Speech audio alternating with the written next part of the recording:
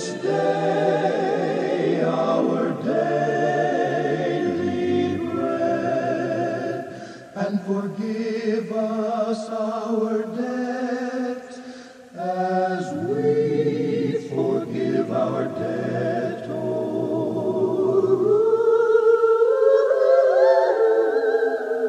And lead us not into temptation, but deliver